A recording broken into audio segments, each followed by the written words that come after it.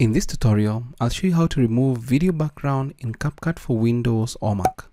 Welcome to this video. My name is David and I hope you're well wherever you are around the world.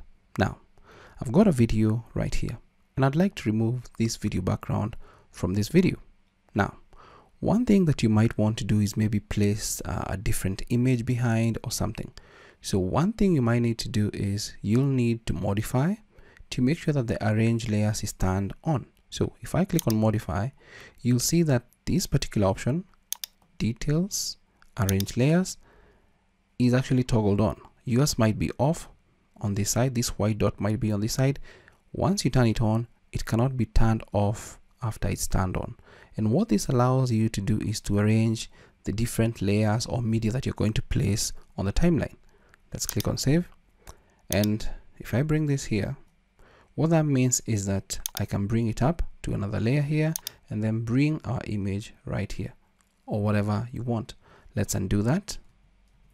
And because we have our video here, all we now need to do is remove this particular background. I'll just click on it.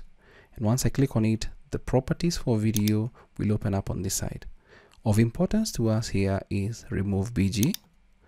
And once we get here, I'll just click on auto removal and the background is going to be removed automatically. It's super fast depending on your use case scenario and how long your video is. Now, we've got our, our background removed and you can use these feather tools. If I just take it to the right a little bit, you can see the difference that it makes. See what it's doing to my hair.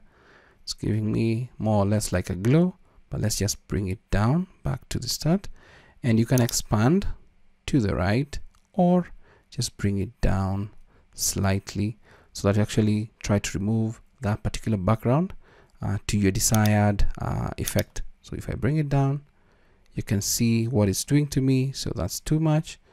Let's bring it up to somewhere like there. So that's good. Let's assume, let me see. That's good. So let's assume you're done with that. Let's add a background to this and you can add an image or a video, whatever that you want. So I'll just drag this video right here and then just make it the length of the video that I have here. And you can now see me in front of a new background. If I play this. In this tutorial, I'll show you how to use Descript's eye contact feature to simulate eye contact. You can actually see that now instead of that bad background, I've got a good starry background behind me right there. Back to the camera even when you read.